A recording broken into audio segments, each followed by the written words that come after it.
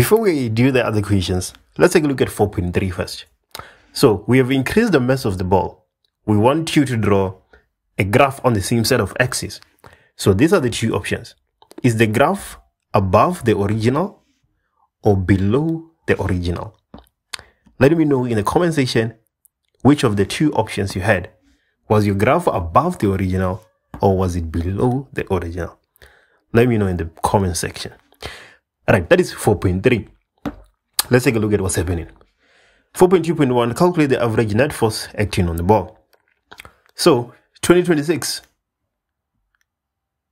Take a look at the question statement and go through it in order for you to understand what is happening. 2025 final exam. We want the solutions. We're not going to go through the question statement. Right. So, in this situation, what I always advise when you have a graph is for you to derive an equation for the graph. In this instance, you need to use f net is equals to delta p over delta t, of which when you cross multiply, you're going to get delta p being equals to f net delta t. Delta p is p final minus p initial, and that is equals to f net delta t. So P final, as it is our y-axis, uh, our y value, rather on the y-axis, will be equals to F net delta T plus Pi. So this is the y, the m, the x, the c. 4.2.1 says calculate the average net force.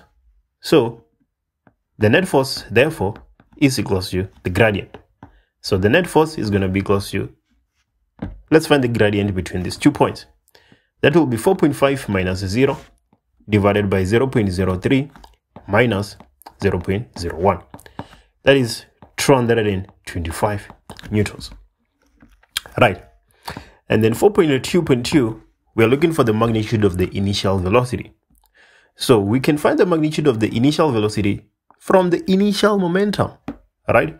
So we then need to take our equation and find the initial momentum. So P final F net delta T plus the initial momentum. So the initial momentum is right there. It's our C, right? So now we need to pick a final momentum and its corresponding value.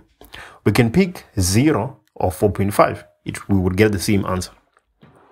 If we pick 0, would have the final, uh, the final momentum being equal to 0 F net being 225 as it is average, it is constant, right?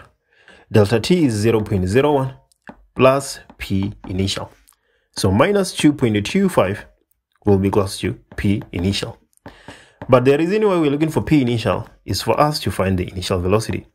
The mass of the object is 150 divided by 1000 multiplied by vi. So vi is equals to 15 meters per second. Just basic math.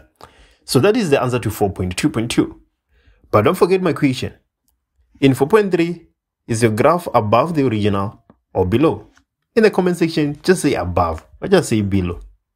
Let's see what people have as the answers to 4.3. Again, if you want notes, past papers that will help you understand the chemistry that you are writing on Monday to this level, go to allpastpapers.com. Geography, life sciences, and all these other subjects are also available. Here we go.